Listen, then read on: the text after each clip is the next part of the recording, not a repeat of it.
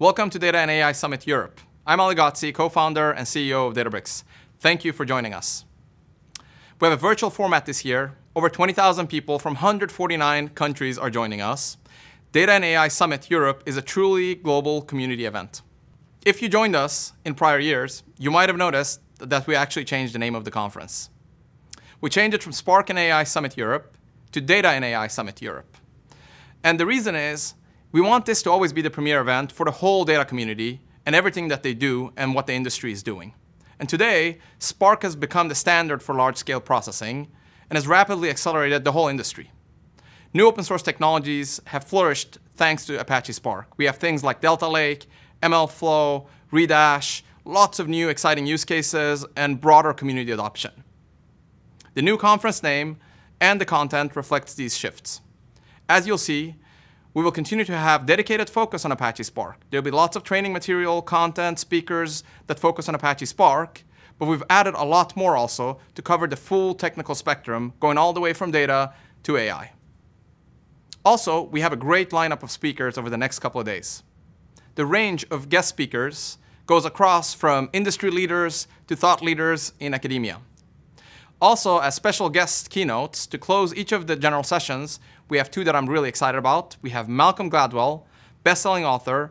He will talk about how we would have handled the whole COVID-19 crisis differently if it had been up to the data community. And he'll join us at the end of today's session. And I'm also really excited to hear Dr. Mae Jemison, first woman of color ever to travel to space. We'll talk about her passion about space exploration and how it relates to what we're all doing with data. Beyond the summit keynotes, we also have a lot more to offer at the Data and AI Summit. Be sure to check out everything else like the Dev Hub, Expo, the Birds of Feather sessions. You can find all of this in your left nav on your virtual summit dashboard. Also, I'd like to take a minute and thank the partners that are helping us put this event on. We wouldn't be able to pull this off without them. Please join me in thanking them and make sure to pay them a visit in the Dev Hub and in the Expo. They have a lot of great material there. With that, I want to spend some time talking about why this event is so important to us and why it's so important right now. At Databricks, our mission has always been to help data teams solve the world's toughest problems. We share this mission with all of you, the entire data community. Nobody understands the power of data and the potential of data and AI like this group.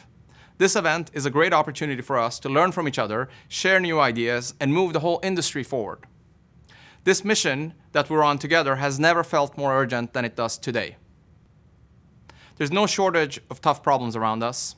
COVID-19, healthcare challenges, climate challenge, social and economic issues. But I'm really inspired by the critical role that the global data community can, and I believe will play in solving challenges like these. More than ever before, this is our time. It is our time to unlock the full potential of data and AI when the world needs us the most. If there's one thing that we've learned at Databricks as we watch our customers, it's that we can't do it alone. Data and AI is truly a team sport. Data engineers, data scientists, and data analysts all need to be able to work together. They need a common playing field onto which to collaborate and build. And this is hard to do, as legacy architectures have kept data teams from operating like teams. In order to succeed, data teams must evolve from being separated by data to being unified by data. And that's why our conference theme this year is Data Teams Unite. It's a call to unite around the data. Unite to do your best work and help others do theirs. Unite to innovate faster. Unite to solve the world's toughest problems. And this is what open source and the data community and this event has always been about.